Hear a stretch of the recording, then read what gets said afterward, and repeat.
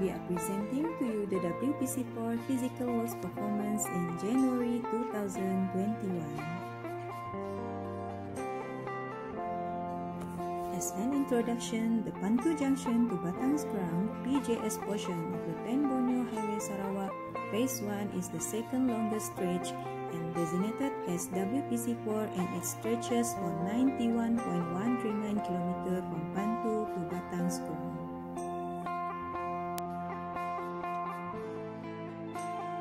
Let us bring you to the section Bukit Belungan where we can see the ongoing subgrade replacement, roadworks, drainage works are actively being carried out.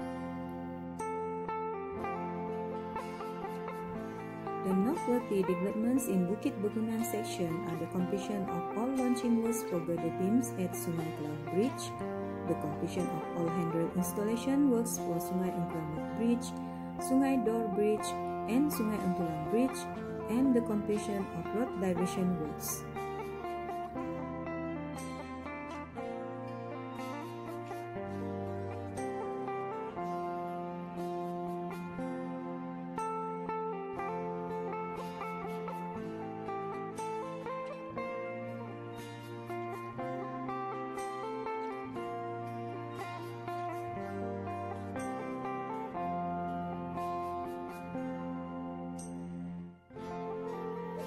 Meanwhile, in Sri Aman section, the noteworthy developments are the completion of all launching works for girder beams at Sungai Raya, the completion of piling works for pipe culvert, the completion of surcharge removal, the completion of roadworks up to course, the completion of road diversion works that will enable the subsequent works on the adjacent land to be expedited.